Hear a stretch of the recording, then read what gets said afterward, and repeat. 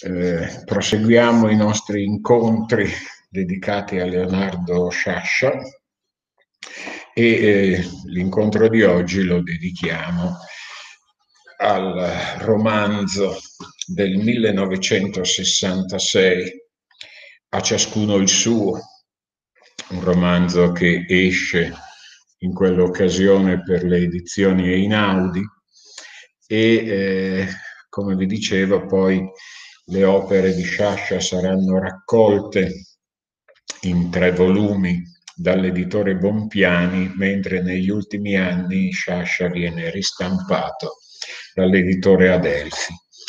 Anche a ciascuno il suo riprende, ma come vedremo in modo un po' parodistico, la struttura del giallo che abbiamo incontrato soprattutto nel giorno della civetta che eh, era stato pubblicato cinque anni prima nel 61.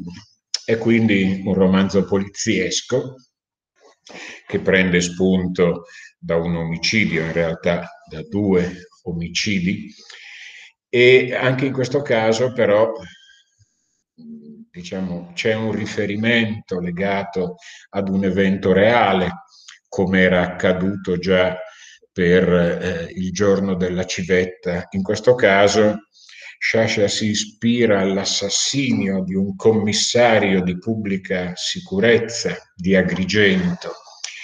Il commissario si chiamava Cataldo Tandoi ed era avvenuto nel 1960 questo omicidio. Il titolo è già significativo, tra l'altro eh, fornirà indizi poi per la ricerca dei responsabili. A ciascuno il suo viene dal latino uniquique sum e eh, la frase è stampata sul retro della lettera minatoria che dà, avvi- dà avvio alla, alla successione degli eventi e eh, questa frase compare sulla testata dell'Osservatore Romano, il quotidiano, diciamo, del Vaticano.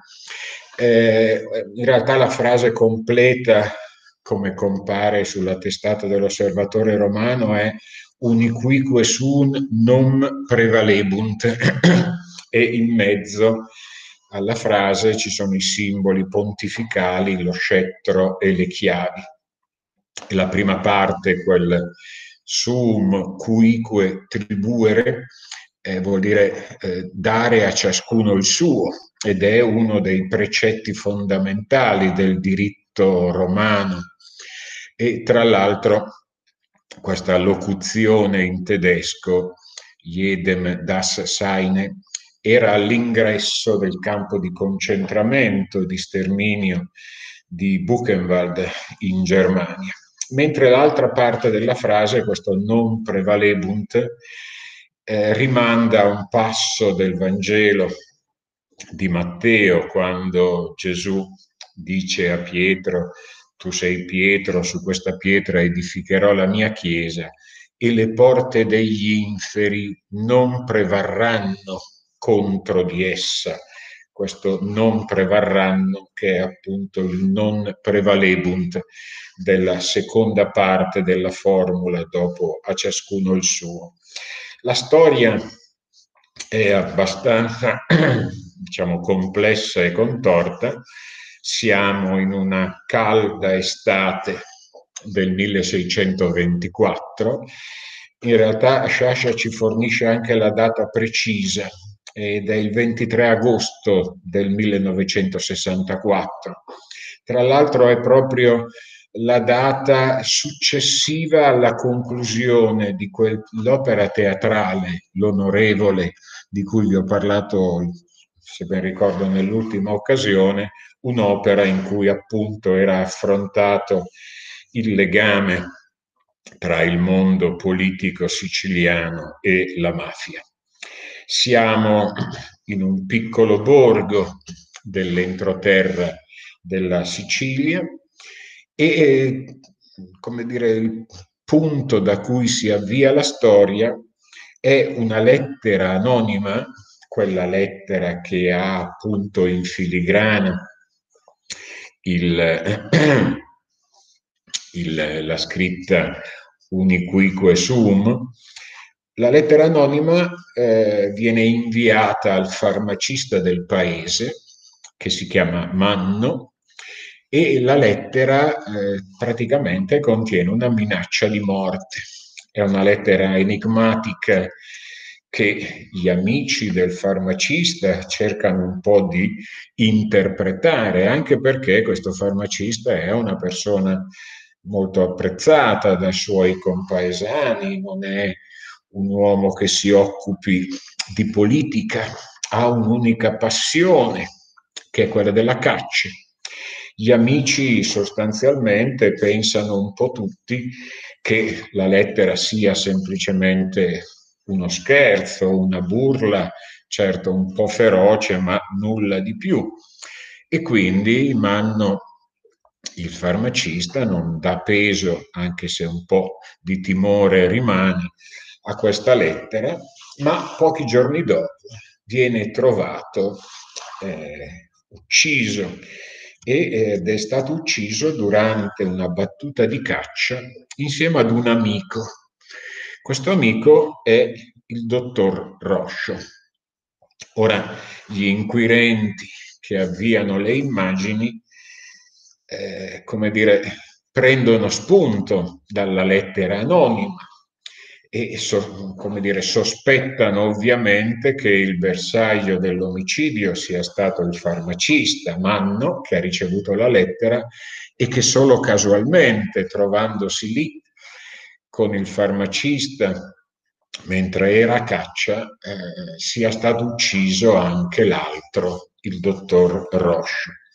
L'idea degli inquirenti che viene diffusa dalla voce pubblica è che, eh, come sempre, e del resto questo era accaduto anche nel caso dell'omicidio del commissario di pubblica sicurezza Tandoi nel 60, è come sempre che, eh, diciamo così, il movente dell'omicidio vada cercato in una relazione amorosa, clandestina, si sospetta che Manno abbia avuto una storia con una giovane frequentatrice della sua farmacia. In realtà è chiaramente una pista falsa diffusa ad arte per tenere nascosti i veri responsabili. Ora, questo duplice omicidio incuriosisce il professor Laurana, che è il protagonista vero del romanzo.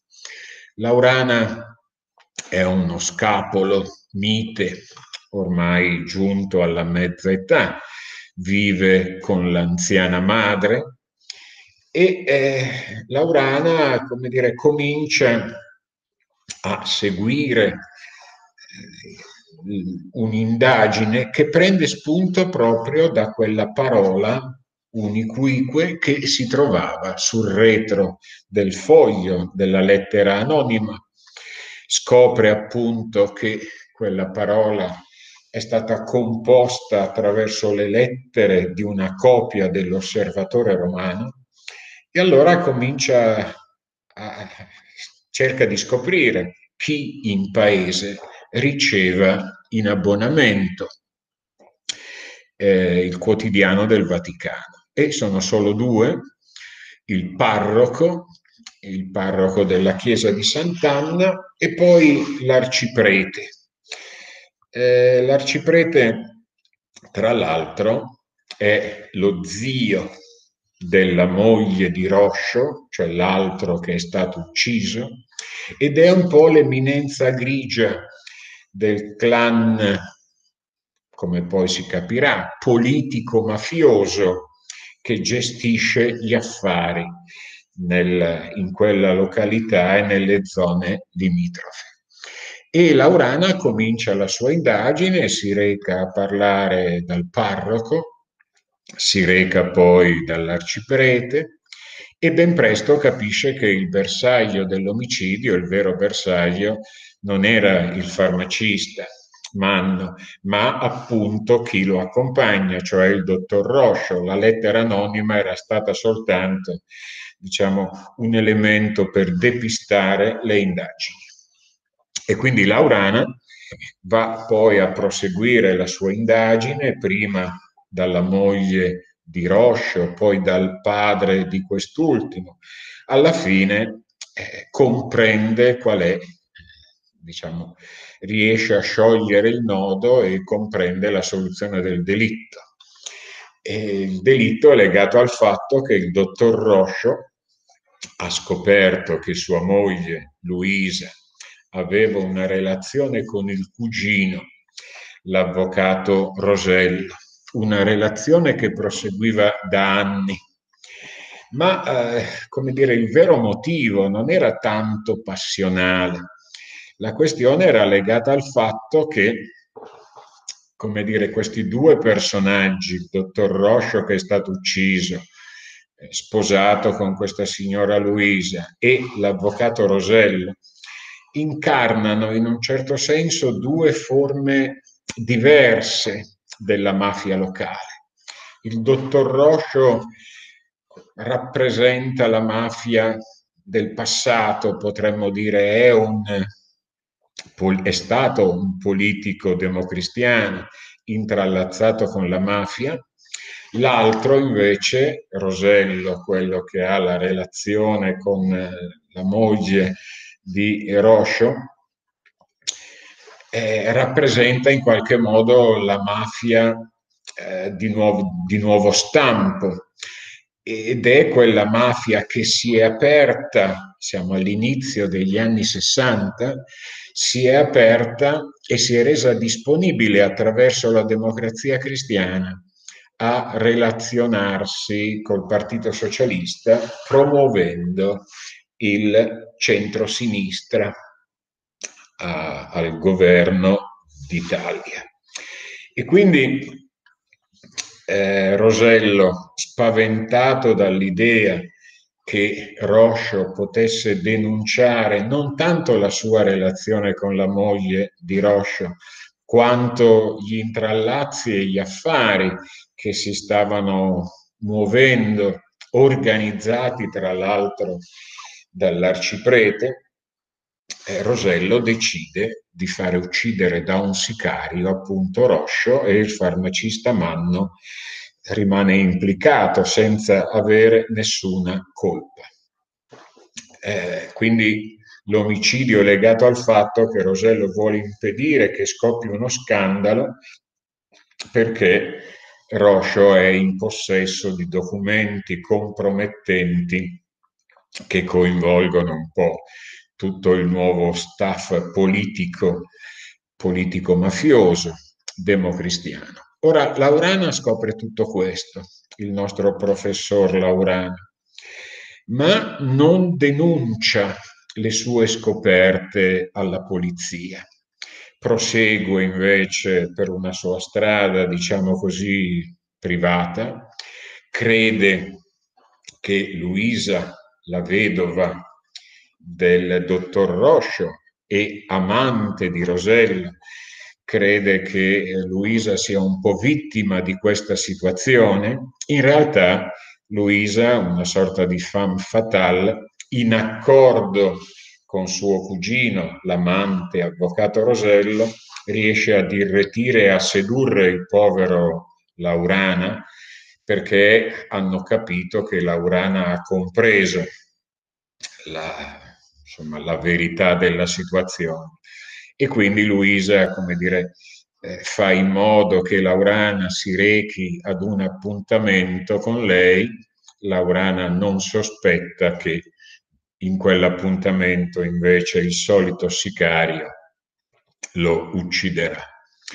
E mentre il cadavere del professor Laurana giace in una zolfara, la vedova Luisa, la vedova di Roscio, si sposa con Rosello, l'avvocato che era stato suo amante, e in qualche modo questo matrimonio rende evidente a tutti che eh, lo scopo dell'omicidio era stato quello di liberarsi del dottor Roscio eh, di poter vivere felicemente tra loro, ma liberarsi anche di un pericoloso testimone dei loschi affari politico-mafiosi.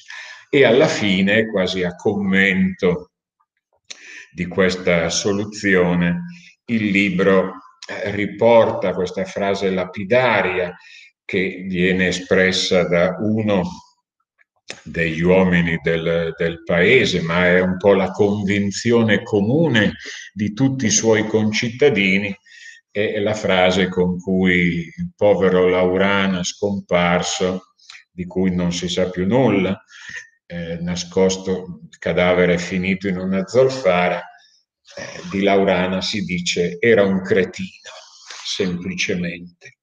Il romanzo, a ciascuno il suo, già l'anno dopo ebbe una versione cinematografica per la regia di Elio Petri. Eh, il protagonista era Gianmaria Volontè, mentre Luisa, il ruolo di Luisa era affidato a Irene Papas. Eh, dicevamo un romanzo giallo, ma come sempre in Sciascia, eh, come dire, con una ricchezza e una profondità di livelli che non si riducono semplicemente alla soluzione di un enigma.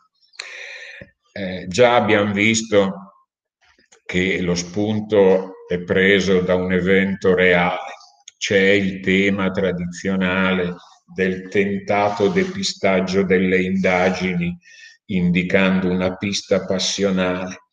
Ma Sciascia dirà poi in una intervista che si era proposto di scrivere il resoconto di un fallimento storico, il fallimento del centro-sinistra. E in effetti a una prima lettura un po' distratta questo aspetto si coglie poco se noi prestiamo attenzione solo al tema dell'omicidio e dell'indagine svolta da Laurana, non lo comprendiamo. In realtà è questa la questione che interessa Sciascia, cioè le grandi speranze con cui all'inizio degli anni 60 erano, era sorto l'esperimento del centro-sinistra, cioè l'alleanza col partito di maggioranza, la democrazia cristiana, che si era aperto verso il Partito Socialista, queste grandi speranze si erano ben presto vanificate e come dice, dice Sciascia, eh, a causa dell'eterna immutabilità dell'eterno fascismo italiano. E in effetti, come dicevamo, mentre Roscio, che è stato ucciso, rappresentava la dimensione politica un po' tradizionale, moderata anche del cattolicesimo, invece l'avvocato Rosello, che rappresenta l'anima nuova della democrazia cristiana, disposta ad aprirsi ai socialisti, rappresenta però anche la mafia, diciamo, più imprenditoriale, la mafia degli affari. Eh, è vero che la struttura è quella di un giallo. Abbiamo un protagonista, Laurana, il professore, che è una sorta di investigatore dilettante che utilizza tecniche sia alla Sherlock Holmes, cioè cercando di trarre dagli indizi più che dedurre, come ci ha spiegato Umberto Eco, in uno scritto dedicato appunto alle procedure di Sherlock Holmes, il segno dei tre, non è una vera deduzione, è una abduzione, cioè un passaggio da un caso singolo ad un altro caso singolo, da un indizio ad un altro. Ma il nostro Laurana segue anche l'altra strada tipica diciamo, della tradizione del giallo, cioè quella della immedesimazione con il colpevole, che è tipica eh, di Maigret. Dialogando si cerca appunto di far emergere la psicologia del personaggio. Ma ciò che conduce Laurana alla morte come abbiamo detto, in questa trappola organizzata dalla vedova di Roscio e dall'avvocato Rosello. Ciò che conduce, dicevo, Laurana alla morte è anche la sua assenza di una coscienza civica. In realtà Laurana non vuole denunciare Rosello anche se ha capito che è il responsabile dei delitti alla polizia. In fondo anche Laurana obbedisce alla legge non scritta dell'omertà e non a caso Sciascia insiste sul fatto che questo personaggio è estraneo al mondo locale, ignora i giochi di potere e di interesse, è un ingenuo, il nostro Laurana, è un professore che insegna in un'altra città e quindi è spesso lontano, vive con la madre, passa il suo tempo a casa a studiare e scrivere. È una figura quasi infantile come testimonia anche il cedimento, sua, questo innamoramento adolescenziale nei confronti della signora Laura che tesse la tela della trappola. E come dice Sciascia, Laurana è un uomo onesto, meticoloso, triste, non molto intelligente, anzi con momenti di positiva ottusità. Ed è mosso il nostro Laurana all'investigazione non tanto da una sete di giustizia, ma da una specie di capriccio intellettuale. È come se il delitto fosse un gioco con cui vincere la noia, inseguendo appunto la catena degli indizi. Eh, in fondo anche in Laurana permangono alcune tracce di quel sentire mafioso che abbiamo già indagato in passato. Ha un forte amor proprio, ha una diffidenza nei confronti della legge, non pensa certo di giungere ad arrestare i colpevoli, e scrive Sciascia, giocavano in questo suo oscuro amor proprio i secoli di infamia che un popolo oppresso, un popolo sempre vinto, aveva fatto pesare sulla legge e su coloro che ne erano strumenti. L'affermazione non ancora spenta che il miglior diritto e la più giusta giustizia, se proprio uno ci tiene, se non è disposto a confidarne l'esecuzione al destino a Dio, soltanto possono uscire dalle canne di una scoppetta. E quindi, ripeto, anche Laurana è vittima di questa tradizione siciliana, di questa diffidenza nei confronti della legge, di questa pratica della vendetta nel caso appunto di un omicidio.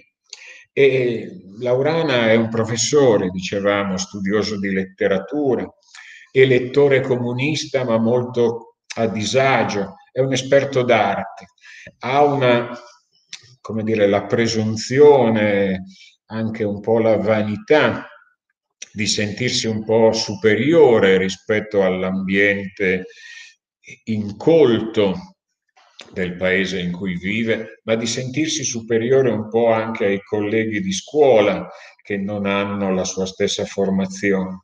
E poi Laurana, per chiudere un po' questo quadro della sua ingenuità, è anche vittima di questo affetto esclusivo della madre, il che lo ha reso un po' timido e represso.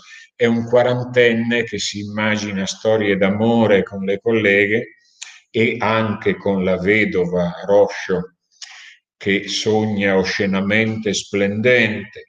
Eh, in fondo anche Laurana è una figura brancatiana, appartiene a quella sequela di eh, maschi come il Don Giovanni in Sicilia di Brancati, che poi rientrano nel matriarcato siciliano no? questa sogge- soggezione alla figura femminile che finisce per scatenare una ossessione erotica. E nel finale del romanzo, il povero Laurana, come dice Sciascia, finito sotto grave mora di rosticci in una zolfara abbandonata, il povero Laurana appunto è considerato un cretino dagli altri, perché gli altri per molti versi avevano già colto quale fosse la vera questione in gioco. Eh, le voci e i pettegolezzi che giravano nel paese avevano già indirizzato un po' l'indagine. Dicevamo che è un romanzo poliziesco, ma è anche una parodia del romanzo, è un giallo che non è giallo. E del resto l'epigrafe che Sciascia pone all'inizio del romanzo è tratta da Edgar Allan Poe, eh, come dire, quello che ha introdotto la figura del detective con Dupin, e l'epigrafe dice ma non crediate che io stia per svelare un mistero o per scrivere un romanzo. E in molte occasioni questa dimensione parodica ritorna, eh, come quando Sciascia sottolinea eh, che un delitto si offra agli inquirenti come un quadro i cui elementi materiali e per così dire stilistici consentano, se sottilmente reperiti e analizzati, una sicura attribuzione, è corollario di tutti quei romanzi polizieschi cui buona parte dell'umanità si abbevera. Nella realtà le cose stanno però diversamente. Come Sciascia aveva già sottolineato, il romanzo poliziesco ha una dimensione consolatoria, crede che attraverso gli indizi si possa giungere a risolvere un delitto in realtà questo nella realtà non accade mai e anche qui in effetti Laurana si avvia sulla giusta strada attraverso il caso o gli inquirenti spesso lo fanno sulla base di delazioni anonime.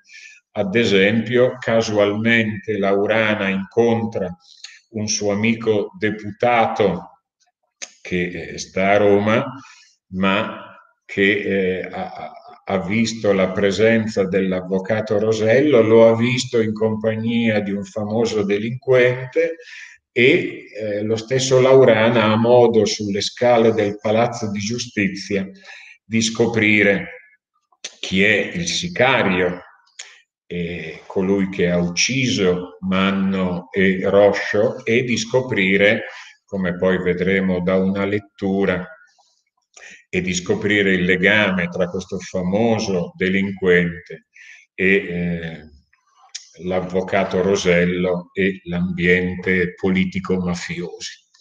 Anche in questo caso, come era già in, nel giorno della civetta, il colpevole non viene punito.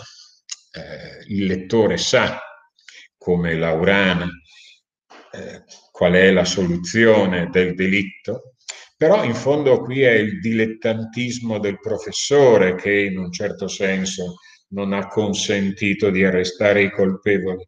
Il professore è nella condizione pirandelliana, pirandelliana dell'uomo solo, non è certo un detective tradizionale, non possiede quella che Sciascia chiamava la grazia illuminante che gli fa gettare luce sull'enigma. Eh, questo professore è un candido e usiamo questo termine, come dire, in senso forte, ricordando che più avanti Sciascia comporrà un romanzo candido che si richiama al candido di Voltaire. Eh, dire che è un candido vuol dire soprattutto che in quella Sicilia in cui l'abilità dei politici è dissimulare, far credere, giocare sulle apparenze. E invece Laurana è uno che non sa dissimulare, che non sa nascondere e in fondo è per questo che alla fine lo giudicano un cretino. Eh, tutto il suo mondo di Laurana è filtrato attraverso la letteratura, una serata al circolo, dice Sciascia, per lui, per Laurana, era come leggere un libro di Pirandello o di Brancati, secondo i temi e gli umori della conversazione. E quando il preside della scuola di Laurana interrogato sull'ultimo dialogo che ho avuto con eh, Laurana stesso, risponde che stavano parlando di Borgese. Ora Borgese, oltre ad essere l'autore di Roubaix, composto nel 1921, che è forse il romanzo che ci offre il quadro, la fotografia più lucida della società italiana che sta avviandosi al fascismo, eh, Borgese, dicevo, aveva scritto nel 1938 un saggio, Golia, marcia del fascismo, da cui Sciascia ha sicuramente tratto spunto per quella sua lettura del fascismo in chiave non tanto politica, ma etico-civile. È quella lettura che noi ritroveremo fra poco nella lettura, nell'interpretazione che ci offrirà Poggioni di un passo. Quando a parlare sarà questo Don Benito. E eh, Laurana è comunque anche una vittima senza redenzione, è un capro espiatorio, eh, prescelto in un certo senso dalla comunità stessa. E, tra l'altro questo è un romanzo da un lato fortemente anticlericale, eh, la figura del parroco di Sant'Anna, ad esempio, è la figura di un lettore studioso di Manzoni, ma che dice di prediligere invece gli scritti di Casanova. Poi c'è l'altra figura dell'arciprete che, come vi dicevo, è un po' l'eminenza che gestisce gli affari politico-mafiosi. Però dirà Sciascia, questo è anche un romanzo in cui si esprime il suo momento più cristiano eh, il parroco, eh, che è una figura cinica, ambigua, nemica dell'arciprete, svela a Laurana i giochi sporchi di Rosello, il politico che sta conducendo la DC verso il centro-sinistra e dice a Laurana il fatto che noi ad occhio nudo non vediamo le zampe dei vermi del formaggio non è ragione per credere che i vermi non le vedano. Io sono un verme dello stesso formaggio e vedo le zampe degli altri vermi. Il parroco che è interno a questo mondo di intrallazzi e di clientele, come dire, riconosce di essere anche lui un verme all'interno di questo formaggio.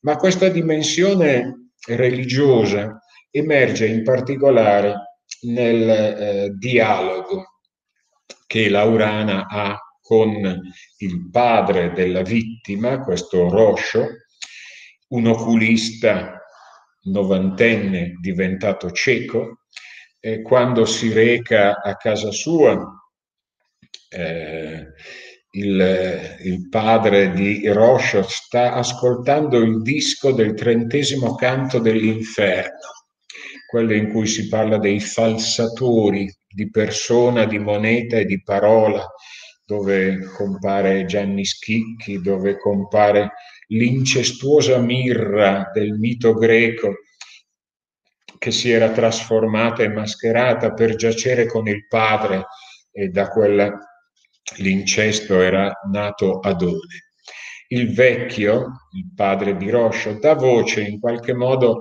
al crollo delle speranze progressiste. Osserva, come sentirete fra poco da Christian, che i comunisti in fondo sono già al potere e sviluppa tutta una serie di riflessioni enigmatiche, teologiche, che ruotano attorno anche al fatto che suo figlio, eh, Roscio, ha sposato una donna eh, che apparteneva a una famiglia cattolica e dice di questo mondo cattolico che è gente sempre pronta a mettere mano nella tasca degli altri e anche a sparare contro qualcuno. E poi questo novantenne parla della nuora, una donna da letto, come si direbbe appunto in Sicilia, e riflette su questo mistero dell'alcova, dell'esposizione del corpo, eh, del corpo femminile che viene ritenuto un segno di libertà ma è l'esposizione come, eh, usando lo stesso termine che un tempo veniva utilizzato per gli impiccati.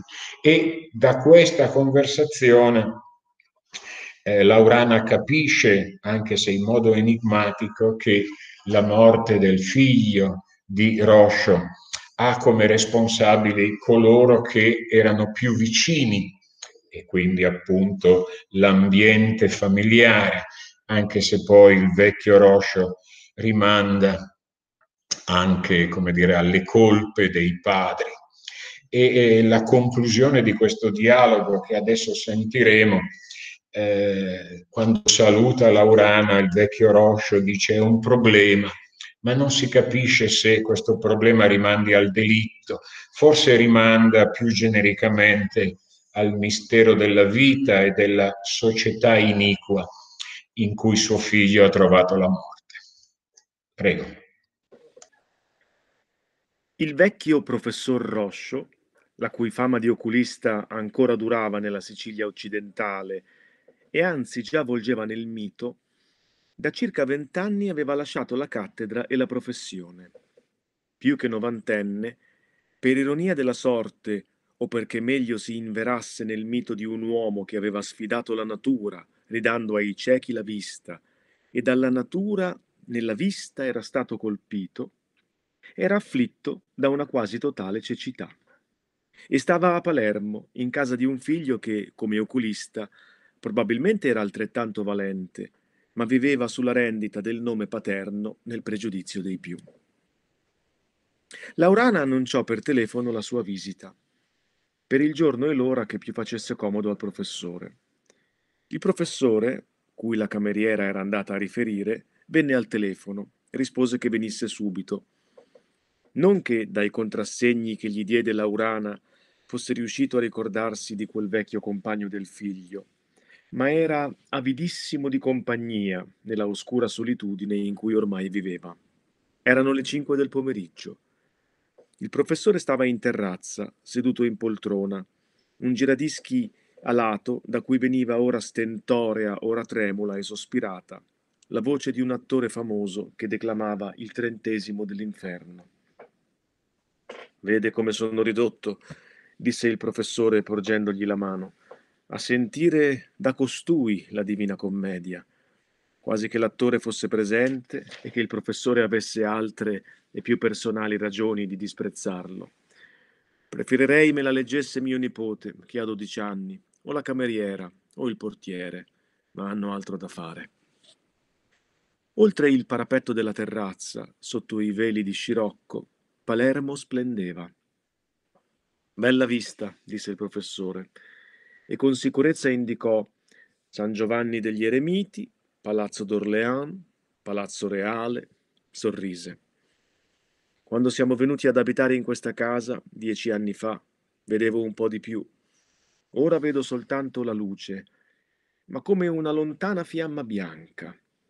Per fortuna a Palermo ce n'è tanta di luce. Ma lasciamo stare le nostre personali sventure. Lei dunque è stato compagno del povero figlio mio.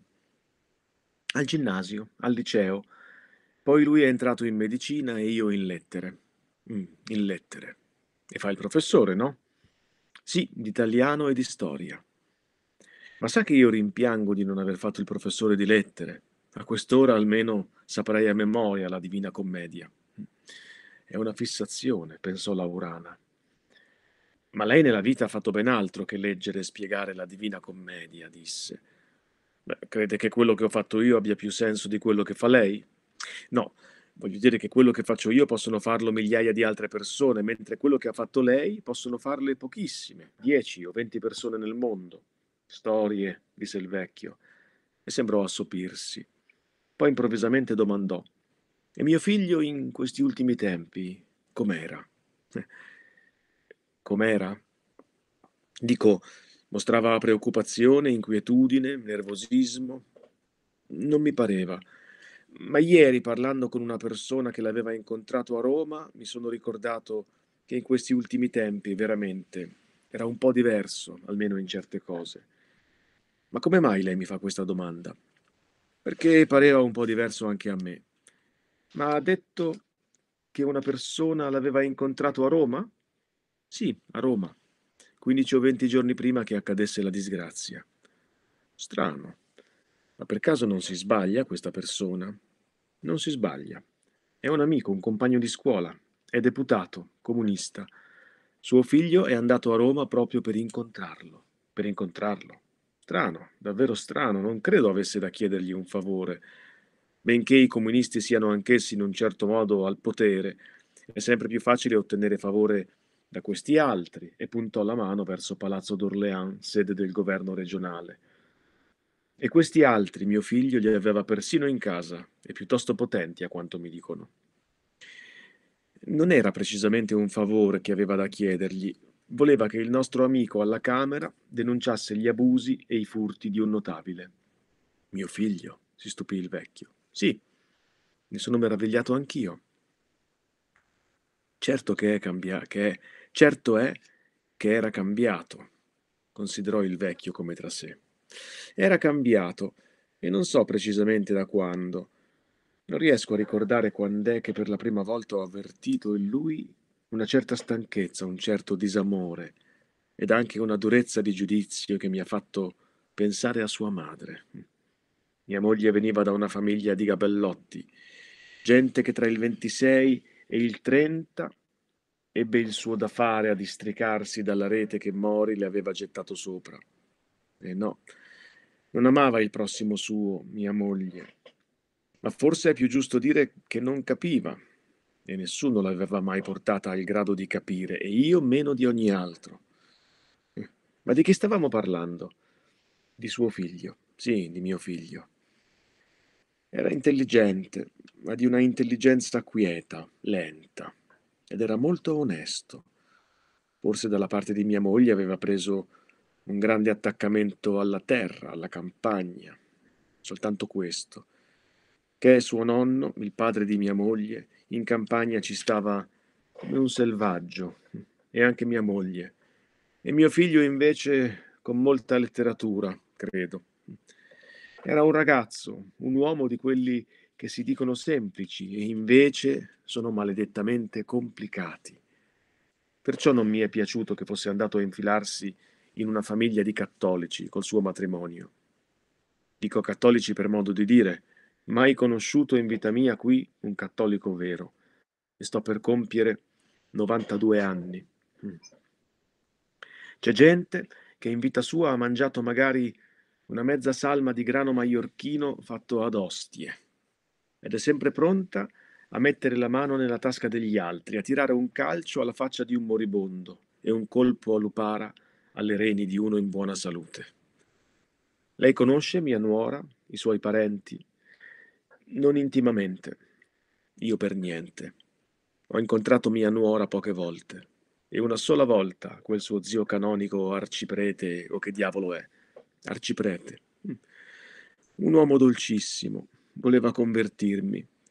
Per fortuna era di passaggio, se no sarebbe finita che mi avrebbe portato di sorpresa il Santissimo. Non ha capito per niente che io sono un uomo religioso. Ma mia nuora è molto bella, no? Molto bella. O forse molto donna, di quelle che quando io ero giovane si dicevano da letto, con distacco da intenditore, quasi non parlasse della moglie di suo figlio, ora morto, e muovendo le mani a disegnarne il corpo disteso. Credo che questa espressione ora non si usi più la donna è caduta dal mistero dell'alcova e da quello dell'anima. E sa che ne penso? Che la Chiesa cattolica stia registrando oggi il suo più grande trionfo. L'uomo odia finalmente la donna. Non c'era riuscita nemmeno nei secoli più grevi, più oscuri. C'è riuscita oggi. E forse un teologo direbbe che è stata un'astuzia della provvidenza. L'uomo credeva anche in fatto di erotismo di correre sulla via maestra della libertà e invece è finito in fondo all'antico sacco. Sì, forse, benché mi pare che mai come oggi nel mondo diciamo cristiano il corpo della donna sia stato così esaltato, così esposto. E la stessa funzione di richiamo, di fascino che la pubblicità commerciale assegna alla donna. Lei ha detto una parola che contiene in definitiva l'essenza della questione. Esposto. Il corpo della donna è esposto. Esposto come un tempo restavano esposti gli impiccati. Giustizia è stata fatta, insomma. Ma sto parlando troppo, è meglio che mi riposi un poco. Laurana l'intese come un congedo e si alzò di scatto. Non si muova, disse il vecchio, allarmato che gli fuggisse via così presto la rara occasione di conversare. Di nuovo sembrò assopirsi, scivolare nel sonno col suo bel profilo di medaglia, così come generazioni di studenti l'avrebbero poi visto in un bassorilievo di bronzo nell'atrio dell'università. E sotto il bassorilievo una di quelle iscrizioni di cui, se mai vi fanno attenzione, ridono. Scivolerà così nella morte, pensò Laurana, e, a e stette a fissarlo con una certa ansietà, finché il vecchio, sempre immobile, come continuando a svolgere il pensiero in cui si era chiuso, disse certe cose, certi fatti, è meglio lasciarli nell'oscurità in cui stanno. Proverbio, regola. Il morto è morto, diamo aiuto al vivo. Se lei dice questo proverbio a uno del nord, gli fa immaginare la scena di un incidente in cui c'è un morto e c'è un ferito ed è ragionevole lasciare lì il morto e preoccuparsi di salvare il ferito. Un siciliano vede invece il morto ammazzato e l'assassino, e il vivo da aiutare è appunto l'assassino. Che cosa è poi un morto per un siciliano? Forse l'ha capito quel Lawrence che ha contribuito a cacciare l'Eros nel cul di Sacco. Un morto è una ridicola anima del purgatorio, un piccolo verme dai tratti umani che saltella su mattoni roventi. Ma si capisce che quando il morto è del nostro sangue, bisogna far di tutto perché il vivo, cioè l'assassino, vada presto a raggiungerlo tra le fiamme del purgatorio. Io non sono siciliano fino a questo punto. Non ho mai avuto inclinazione ad aiutare i vivi, cioè gli assassini, e ho sempre pensato che le carceri siano un più concreto purgatorio. Ma c'è qualcosa nella fine di mio figlio che mi fa pensare ai vivi e che mi dà una certa preoccupazione per i vivi. I vivi che sono gli assassini? No, non a quei vivi che direttamente, materialmente l'hanno ucciso, ai vivi che l'hanno disamorato che l'hanno portato a vedere certe cose della vita e a farne certe altre. Ad un'età come la mia, uno che ha l'avventura di arrivarci è disposto a credere che la morte è un atto di volontà, un piccolo atto di volontà nel mio caso. A un certo punto sarò stufo di sentire la voce di costui e indicò il giradischi, il rumore della città la cameriera che da sei mesi canta di una lacrima sul viso, e mia nuora che da dieci anni ogni mattina si informa della mia salute con la speranza appena velata di apprendere che sono finalmente all'amen. E deciderò di morire, così come uno chiude il telefono quando dall'altra parte c'è un seccatore o un cretino. Ma voglio dire questo, che ci può essere in un uomo una esperienza, una pena, un pensiero, uno stato d'animo per cui la morte infine è soltanto una formalità. E allora, se responsabili ci sono, bisogna cercarli tra i più vicini. E nel caso di mio figlio si potrebbe cominciare da me, che un padre è sempre colpevole, sempre. Gli occhi spenti sembravano perdersi nella lontananza del passato e dei ricordi.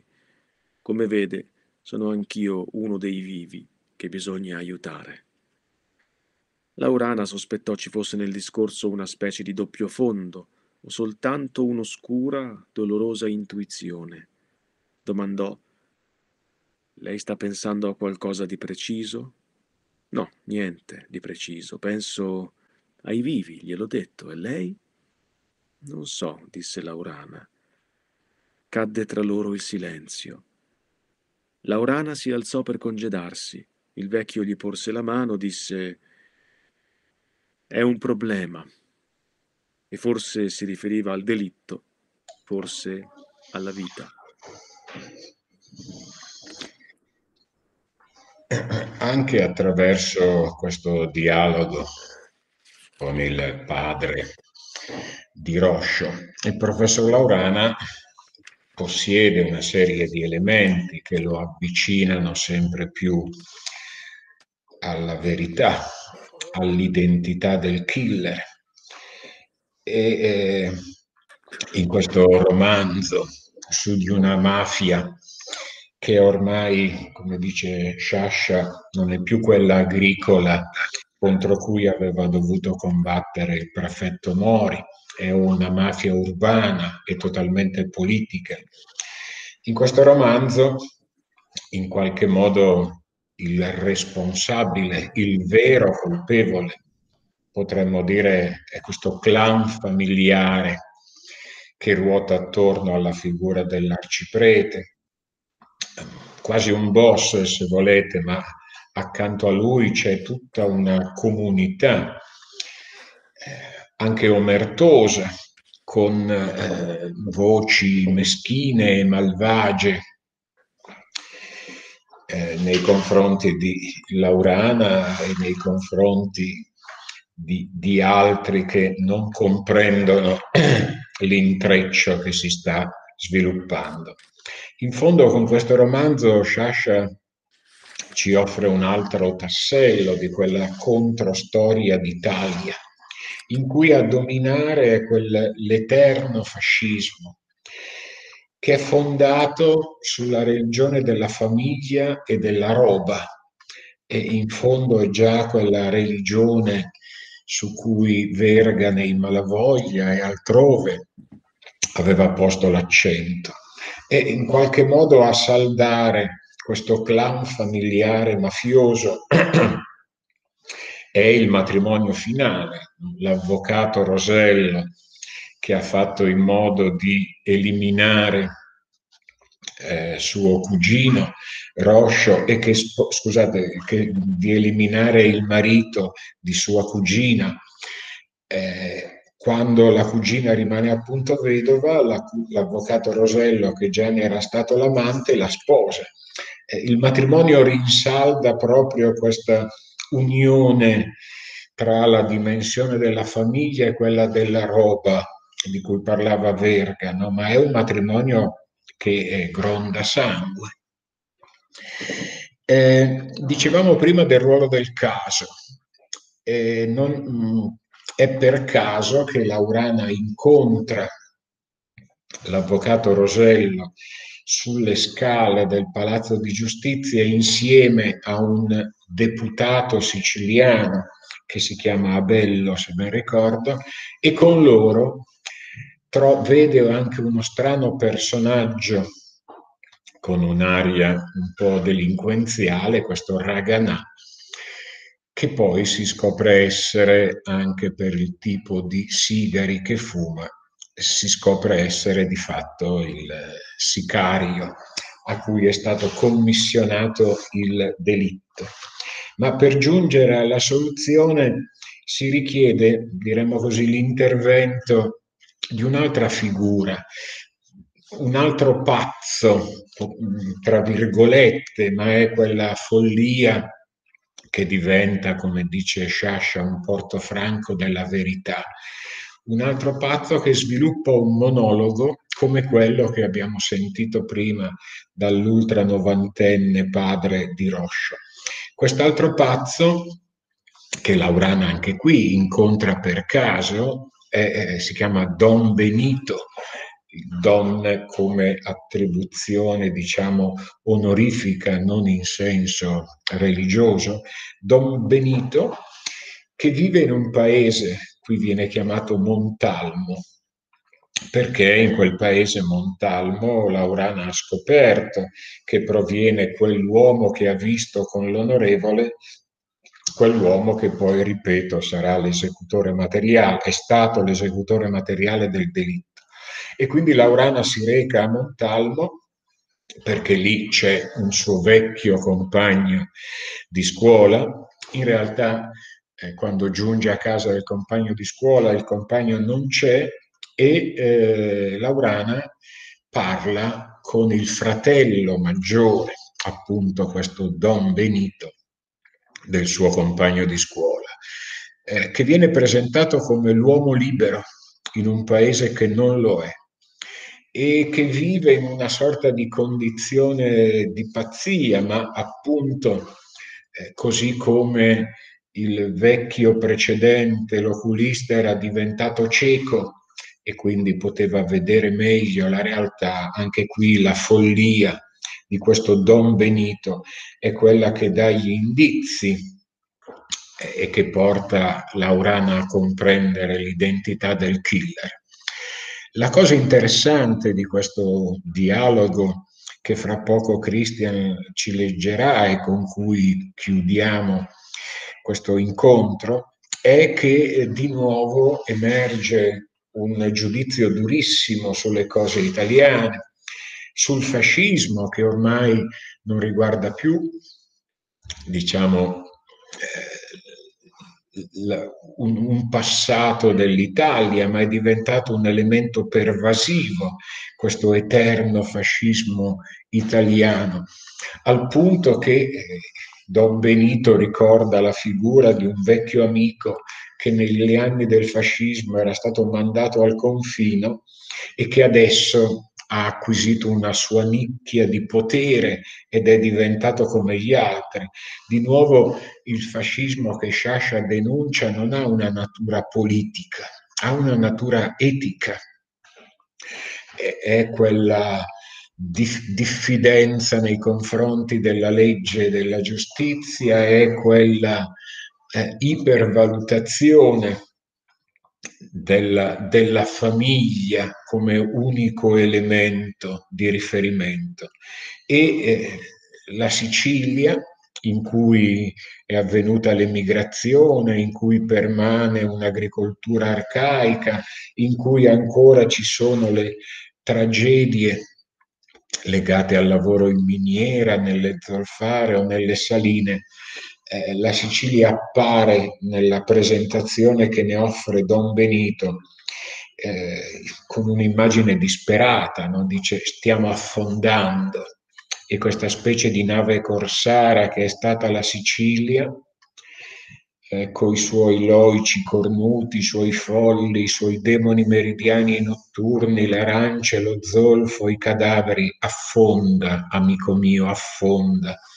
E qui tra l'altro nel discorso di Non Benito ci sono una serie di riferimenti, no? il gattopardo, i colori di Guttuso, gli scrittori impegnati, i Malavoglia, i Percolla, Percolla vi ricordo era il protagonista del Don Giovanni in Sicilia di Brancati. E anche qui alla conclusione del dialogo, di fronte a questa immagine disperata di una Sicilia che è una nave corsara che affonda, Laurana replica dicendo di non essere d'accordo e questo Don Benito nella sua follia risponde che non lo è neanche lui, come se Sciascia volesse, come dire, indicarci questo suo oscillare fra disperazione e speranza, insomma, in quel gioco multiplo della verità che è proprio del pirandellismo di natura siciliano. Vi saluto e vi lascio con l'ultima lettura di Christian.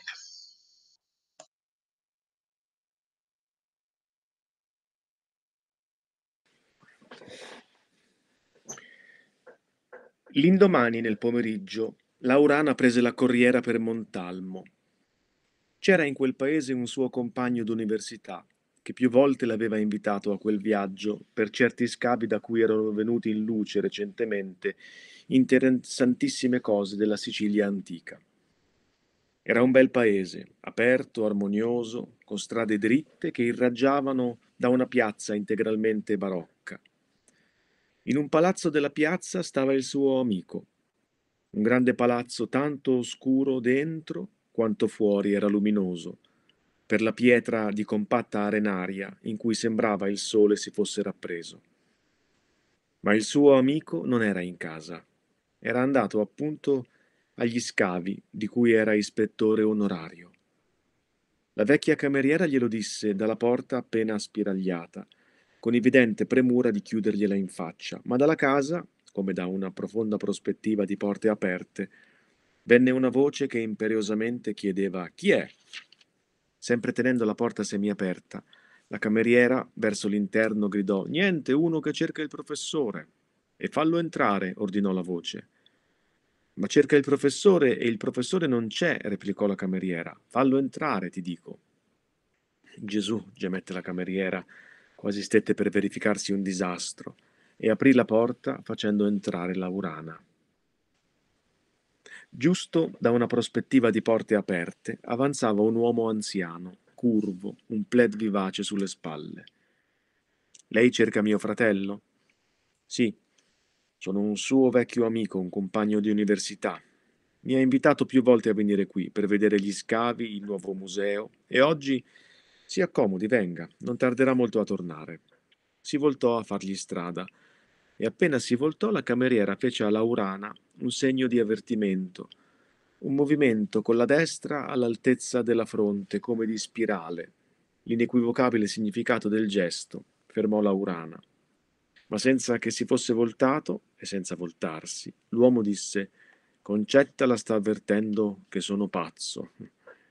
Meravigliato, ma al, te- al tempo stesso rinfrancato, Laurana lo seguì. Al fondo della prospettiva, in uno studio pieno di libri, di statue di anfore, l'uomo andò a sedersi dietro a una scrivania e gli fece cenno che si sedesse di fronte a lui dall'altra parte della scrivania. Rimosse una piccola barricata di libri e disse Concetta mi considera pazzo, e non solo lei, per la verità. Laurana fece un vago gesto di incredulità, di protesta. Il guaio è che per certe cose lo sono davvero. Non so se mio fratello le ha parlato qualche volta di me, almeno per il fatto che quando faceva l'università io, a quanto lui dice, i soldi glieli lesinavo. Io sono Benito, il fratello maggiore. Il nome naturalmente non mi viene da quel tale a cui lei sta pensando eravamo quasi coetanei. Dopo l'unità c'è stato nella mia famiglia un innesto di sentimenti repubblicani, rivoluzionari, e io mi chiamo Benito perché un mio zio, morto nell'anno in cui sono nato, era nato a sua volta nell'anno in cui Benito Juarez fece fucilare Massimiliano. Un re morto ammazzato pare fosse per mio nonno ragione di incontenibile gioia. Questo però non gli impediva di continuare nei nomi la tradizione bonapartista che si era stabilita in famiglia. Dalla rivoluzione del 1820 in poi non c'è stato uno nella nostra famiglia che scampasse al secondo o terzo nome di Napoleone, se maschio, e di Letizia, se femmina. Infatti mio fratello si chiama Girolamo Napoleone, mia sorella Letizia, e io dietro Benito Juarez, nascondo un Giuseppe Napoleone. Ma non è escluso che il Giuseppe sia, per così dire, ambivalente tra, Napola- tra Bonaparte e Mazzini. Quando si può, è bene fare con un viaggio due servizi. Durante il fascismo il mio nome faceva una certa impressione. Uno che si chiamasse Benito e che avesse la stessa età di colui che come si diceva, guidava le grandi sorti della patria, la gente era talmente abituata al mito che forse si faceva l'idea avessero cominciato a marciare insieme verso Roma appena messo il primo dente. Lei è fascista? No, tutt'altro. Non si offenda, ma lo siamo un po' tutti. Davvero? fece Laurana divertito e irritato. Ma sì, le faccio subito un esempio che è anche esempio di una delle mie più recenti e cocenti delusioni. Peppino Testa Quadra, mio vecchio amico, uno che dal 27 al 43 ha passato tra carcere e confino gli anni migliori della vita, uno che a dargli del fascista salterebbe su per scannarvi o per ridervi sul muso. Eppure lo è. Fascista, le dice. Testa quadra fascista. Lo conosce? Ho sentito qualche discorso, leggo i suoi articoli. E naturalmente dal suo passato e da quello che dice e scrive, lei ritiene che a considerarlo fascista ci voglia una forte carica di malafede o di pazzia. Ebbene, forse di pazzia sì, se consideriamo la pazzia una specie di porto franco della verità, ma non di malafede, assolutamente. È un mio amico, le dico, un mio vecchio amico, ma non c'è niente da fare. È un fascista. Uno che arriva a trovarsi una piccola e magari scomoda nicchia nel potere e da quella nicchia ecco che comincia a distinguere l'interesse dello Stato da quello del cittadino, il diritto del suo elettore da quello del suo avversario, la convenienza dalla giustizia. E non le pare che gli si può domandare chi gliel'ha fatto fare a soffrire galera e confino? E non le pare che noi malignamente possiamo anche pensare che è partito allora sul piede sbagliato, o che se Mussolini l'avesse chiamato malignamente, sottolineò Laurana. La mia malignità le dà misura della delusione e della pena che Peppino mi ha dato, come suo elettore oltre che suo amico. Lei vota per il partito di testa quadra? Non per il partito. Cioè, per il partito, si capisce, ma in subordine, come tutti qui. C'è chi è legato a un uomo politico da un sussidio, da un coppo di spaghetti, da un porto d'arme o da un passaporto, e chi, come me, è legato dalla stima personale, dal rispetto, dall'amicizia. E pensi al grande sacrificio per me di uscire di casa per andare a dargli il voto. Non esce mai di casa, mai, da parecchi anni. A un certo punto della mia vita ho fatto dei calcoli precisi, che se io esco di casa per trovare la compagnia di una persona intelligente, di una persona onesta, mi trovo ad affrontare in media il rischio di incontrare 12 ladri e 7 imbecilli che stanno lì pronti a comunicarmi le loro opinioni sull'umanità, sul governo, sull'amministrazione municipale, su Moravia. Le pare che valga la pena? No, effettivamente no.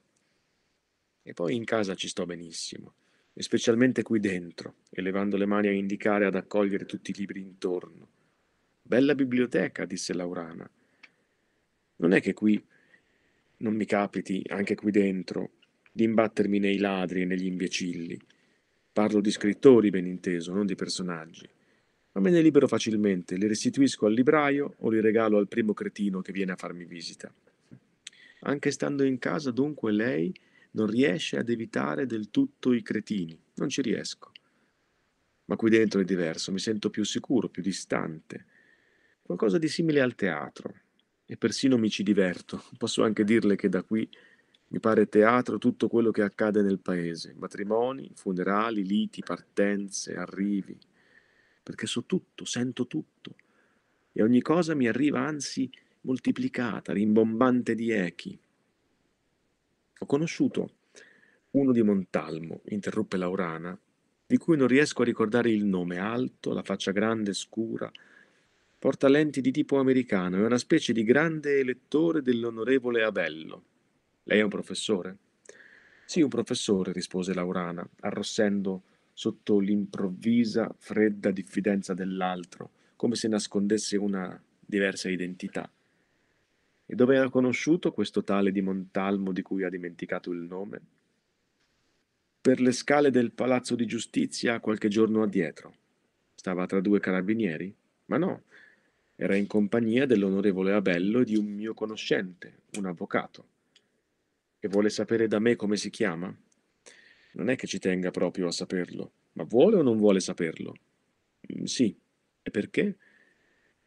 Ma così, per curiosità, l'uomo, ecco, mi ha fatto una certa impressione. Mm. C'è di che, disse don Benito, scoppiando a ridere. Rise fino al singulto, fino alle lacrime, poi si calmò si asciugò gli occhi con un gran fazzoletto rosso. È pazzo, pensava Laurana. È davvero pazzo. Sa di che rido, disse. Di me rido, della mia paura. Ho avuto paura, le confesso. Io, che mi ritengo un uomo libero in un paese che non lo è, ho avuto per un momento l'antica paura di trovarmi tra il delinquente e lo sbirro. Ma anche se lei è veramente uno sbirro, non lo sono Gliel'ho detto, sono un professore, un collega di suo fratello. E che glielo fa fare di andare a sbattere in Raganà? Di nuovo scoppiò a ridere e poi spiegò.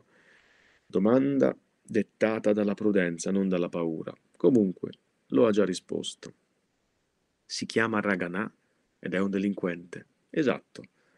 Uno di quei delinquenti incensurati, rispettati, intoccabili. Lei crede che sia ancora oggi intoccabile? Non lo so. Probabilmente arriveranno a toccare anche lui. Ma il fatto è, mio caro amico, che l'Italia è un così felice paese che quando si cominciano a combattere le mafie vernacole vuol dire che già se n'è stabilita una in lingua. Ho visto qualcosa di simile 40 anni fa, ed è vero che un fatto nella grande e nella piccola storia, se si ripete, ha carattere di farsa, mentre nel primo verificarsi è tragedia. Ma io sono ugualmente inquieto. Ma che c'entra? scattò Laurana. Quarant'anni fa le posso anche dare ragione. Una mafia grande ha tentato di schiacciare la piccola, ma oggi via. Le pare che oggi sia la stessa cosa? Non è la stessa cosa. Però senta, le voglio raccontare a mo' di apologo un fatto che lei certamente conosce. Una grande industria decide di costruire una diga a monte di una zona popolata. Una decina di deputati, avvalendosi dei tecnici, chiedono che la diga non si faccia per il pericolo che verrebbe a incombere sulla zona sottostante. Il governo lascia costruire la diga. Più tardi, quando è già costruita e in funzione, si leva qualche avvertimento di pericolo. Niente. Niente finché non succede quel disastro che alcuni avevano previsto. Risultato? 2000 persone morte, 2000 persone. Quante iraganà che prosperano qui ne liquidano in dieci anni. E potrei raccontarle una quantità di altri apologhi, che peraltro lei conosce benissimo. Ma è un rapporto che non regge. Poi francamente mi pare che i suoi apologhi diano nell'apologia. Lei non considera la paura, il terrore. Crede che gli abitanti di Longarone non ne avessero a guardare quella diga? Ma non è la stessa cosa Convengo che sia stato un fatto gravissimo e resterà impunito, appunto, come i più bei delitti nostrani, come i più tipici. Ma insomma, se questo Raganà e tutti i Raganà che conosciamo e che non conosciamo, si riesce finalmente a toccarli nonostante la protezione di cui godono, a me pare che un bel passo avanti si sarà fatto, un passo importante. Crede davvero? Nelle condizioni in cui siamo? Quali condizioni? Mezzo milione di emigrati, vale a dire quasi tutta la popolazione valida, l'agricoltura completamente abbandonata, le zolfare chiuse sul punto di chiudere anche le saline, il petrolio che è tutto uno scherzo, gli istituti regionali che folleggiano, il governo che ci lascia cuocere nel nostro brodo. Stiamo affondando, amico mio, stiamo affondando. Questa specie di nave corsara che è stata la Sicilia, col suo bel gattopardo che rampa a prua, coi colori di Guttuso nel suo gran pavese, coi suoi più decorativi pezzi da novanta, cui i politici hanno delegato l'onore del sacrificio, coi suoi scrittori impegnati, coi suoi malavoglia, coi suoi percolla, coi suoi loici cornuti, coi suoi folli, coi suoi demoni meridiani e notturni, con le sue arance, il suo zolfo, i suoi cadaveri nella stiva affonda, amico mio, affonda. E lei e io, da folle, io da folle, e lei forse da impegnato, con l'acqua che ci arriva alle ginocchia, stiamo qui a occuparci di Raganà. Se è saltato dietro al suo onorevole o se è rimasto a bordo tra i morituri. Non sono d'accordo, disse Laurana. Tutto sommato, nemmeno io, disse don Benito.